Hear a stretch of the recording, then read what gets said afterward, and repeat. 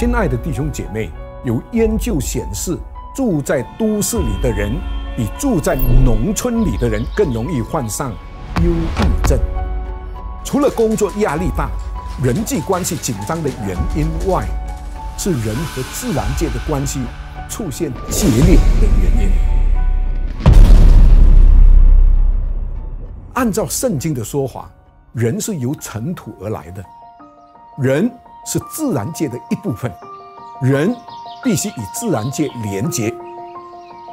当人来到了自然环境中，看看大自然，看大山，看大海，生活会感到格外的自在轻松，因为自然不会与人对立，而是让人产生被包容感、被接受，人就自然地从自我的封闭中走出来。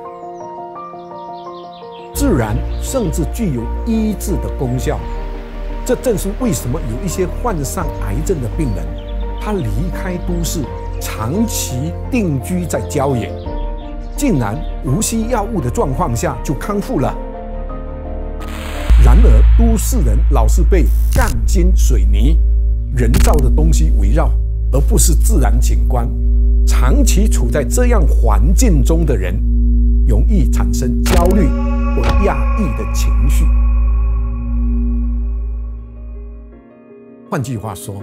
要从忧郁症走出来，或是要避免患上忧郁症，就当常常接触大自然。记得哦，下回旅游时，别再往大都会跑，而是回归自然哦。